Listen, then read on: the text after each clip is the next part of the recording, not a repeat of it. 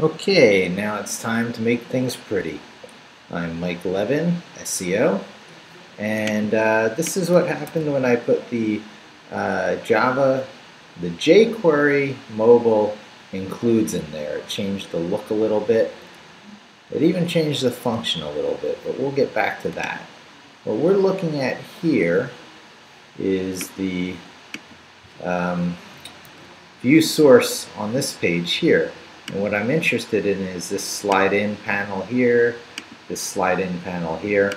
I really want a mobile uh, predisposed uh, UI so that it'll work great on mobile and so that I don't have to do too much filling the screen with stuff on the desktop version. So I hit view source and you can see that all this stuff is in here and there's no real body tags or anything so I just am going to pick up everything and then I'll pare it down in the code. I go back over here, I find where the end body is, I hit O, give a little nice uh, room around it, escape, colon, set, paste, I for insert mode, paste everything in, escape, colon, W for write, and we'll do a refresh and see what we get. Hey, what do you know? So, um, none of this actually means anything to my app yet, and the form itself has been blown away. But where we see panel responsive as a headline,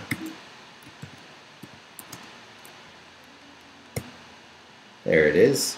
That is where a paragraph probably resides. This is a typical, let's see, ah, there it is. This is a typical. That's where we're going to move our, our form. So this guy here, D for delete. Go to here, P for paste, Shift V, highlight it, insert it the amount that will make it look like the rest of the code in the example. Okay, I'll do it one more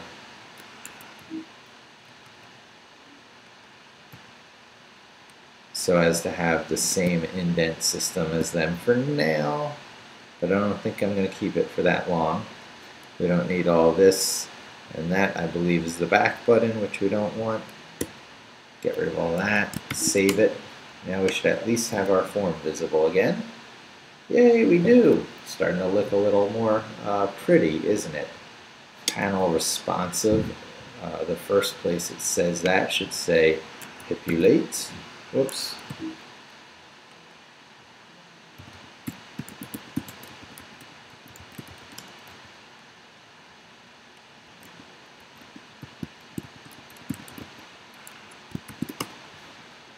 Do a refresh. Starting to look good. We don't really need that second Pipulate headline there now, do we?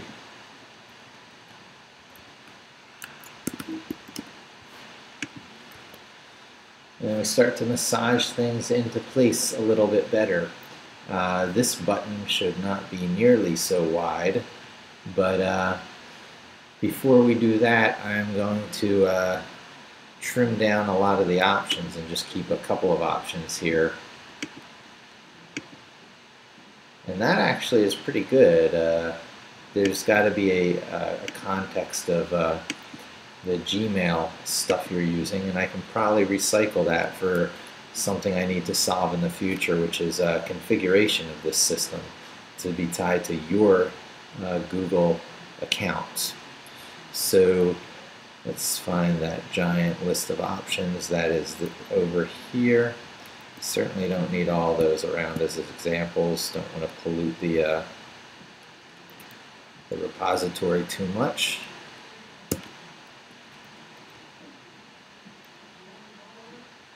and I'll change a few of these names.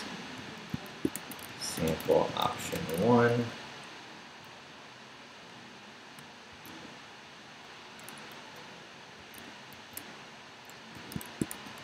Sample option 2.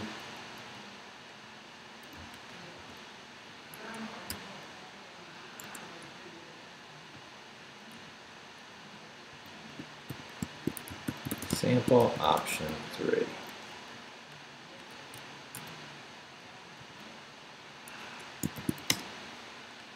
Do a refresh, take a look. Very, very nice. Very, very nice. Okay, uh, that should pretty much be the end of the, uh, the tutorial at this point, but I think I'm just going to go for making that pipulate button a little narrower. So let's go over here, let's go out of this and go to uh, the demos, which I think was on the back button a few times on here. Uh, demos, okay, we'll go in like that. Oh yeah, we want to hit the demos for 1.4.4. Now we're going to look at buttons. Buttons do tend to be wide, the full width of the phone. And uh, let's see, we want a narrower button, not with an X on it. We don't think I don't think we need icons at this point, but color and centering would be nice. Still be auto enhance. Prevent this. Hmm. Left, right. That's for uh, positioning an icon. Icon position. Mini, as far as vertical. Do buttons always stretch the whole width? Button. This is just a button. Inline. Oh, maybe inline is what I want. An inline button. Probably that, yeah. View source of an inline button.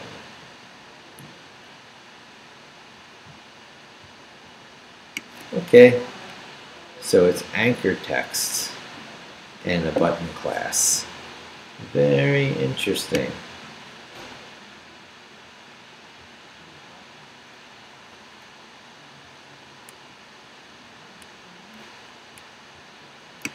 What's our button to make it pipulates?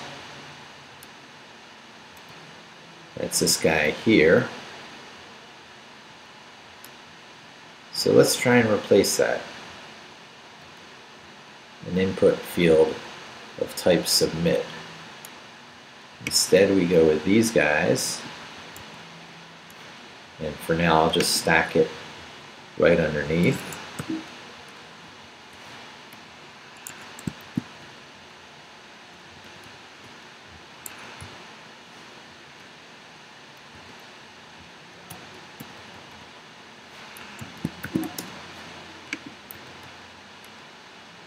Okay, those are the two different kinds. That's an anchor and that's a button. So we don't need the anchor. And all we have to do is give this a class maybe of a UI button.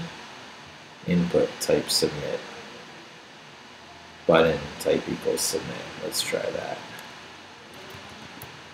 And then it'll have this class here.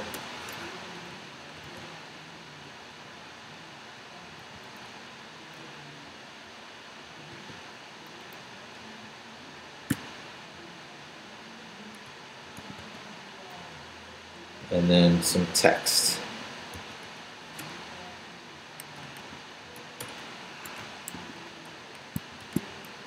Pipulate.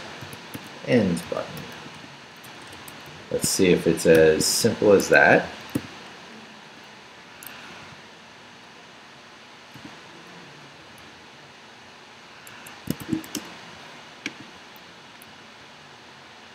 There we go.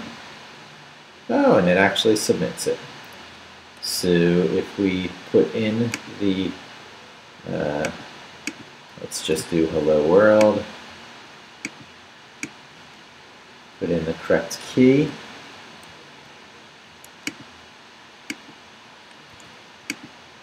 hit pipulates, we should see hello world come back, which we did.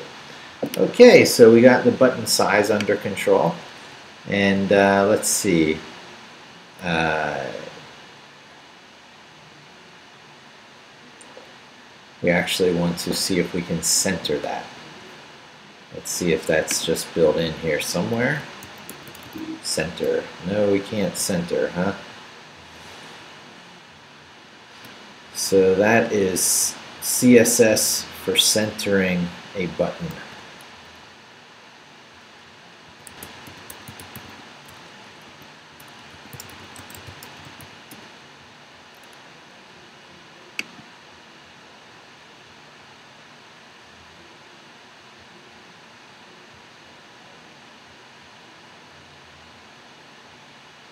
Just stick a dev text align center onto the parent div.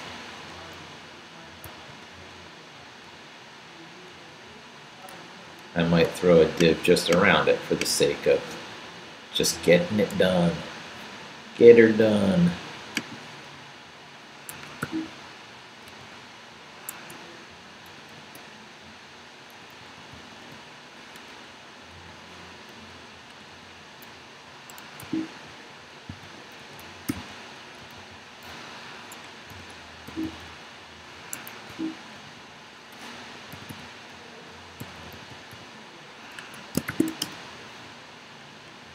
See what we got.